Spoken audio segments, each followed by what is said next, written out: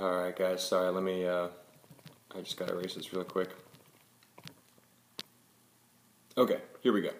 So number one, um, we have a descent vehicle landing on Mars. So we're given the uh, y component of the velocity, and we're given the x component of the velocity. Don't forget to add these two vectors tail to tip.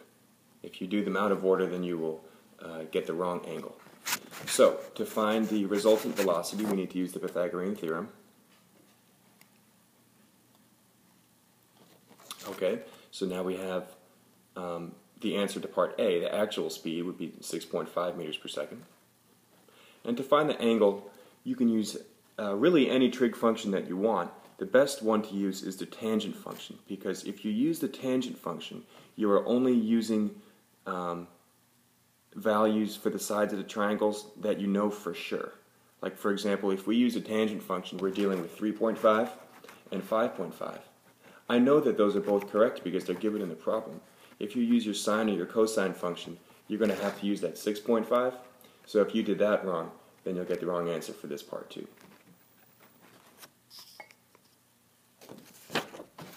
Okay, for number two, we are given, uh, let's see, an applied force and we're dealing with friction here.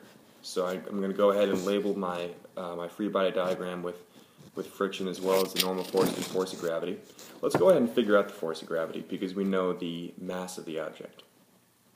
We don't know what the force of friction is, but it says in the problem that we're moving at constant velocity. Well, constant velocity means we can use Newton's second law in the x direction and just use zero on the right side because there's no acceleration. This means that the applied force must be equal to the force of friction. So now we know the force of friction must also be 30 newtons. Let's take a look at our formula for the force of friction. Mu times the normal force. Well, we know what the normal force is. So we can divide both sides by the normal force in order to solve for mu. When you get your answer for mu, make sure it's a value between 0 and 1. It does not have units.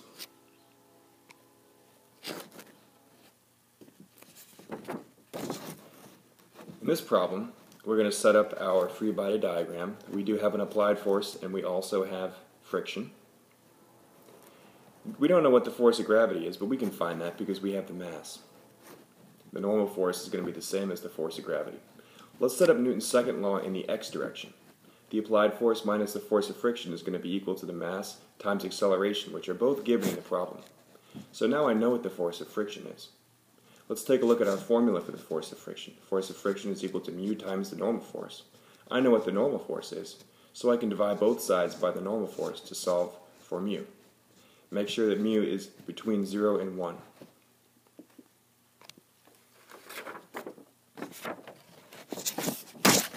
Number 4, we have Mr. Warner driving his car. We're given the velocity initial, the distance, so it kind of looks like a kinematics equation, doesn't it? Well, we need to find acceleration because we're dealing with friction here, which means that we're dealing with Newton's laws, which means that we got to find the acceleration. So we have enough information already to find acceleration. Let's just stop there for a second so you can take a look at what I did. All I did was I took what I was given in the land of kinematics and I used one of my formulas to solve for the acceleration. Now that I have the acceleration, I can start dealing with the forces. So let's take a look at the forces that we have. Let's get our free body diagram going on here. There's only one force in the x direction because there's no applied force. We only have friction. This is just like those problems where you have like a shuffleboard puck and it's just sliding, sliding across the ground, slowing down. The only force acting on the car here is friction because he's taken his foot off the gas pedal and put it on the brake pedal. Okay, let's stop here for a second. I set up Newton's second law in the x direction. There is no positive force. There is no force to the right. So that's why I put 0 there.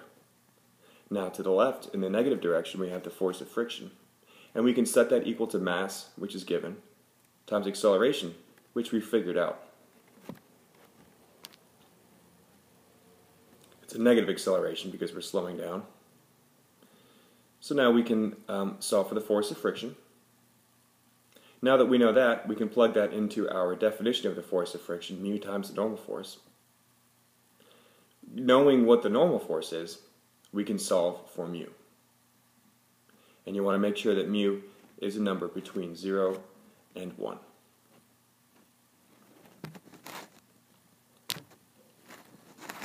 Okay, number 5, we're given um, five different forces acting on an object. The first one's in the y direction, the second one's in the x direction, the third one's in the y direction, the fourth one's in the x direction, but the fifth one, uh-oh, it's at an angle. So you know what you got to do. You got to turn it into its x component and its y component. Use the cosine function for the x component, use the sine function for the y component. Now I have everything in terms of x and y. Let's add up all the x's. 40 minus 40 plus 25 equals 25. And then the y direction, 60 minus 80 plus 43.3. Let's pause it there for a second. So what I did was I added up all my x's. If it's right, it's positive. If it's left, it's negative. And then I added up all my y's. If it's up, it's positive. If it's down, it's negative. So then I drew the resultant vector for both of them. I used yellow to draw the x component. I used red to draw the y component. But take a look at what the question is actually asking. It says, what are the magnitude and direction of a sixth force that would produce equilibrium? So equilibrium means that everything cancels out.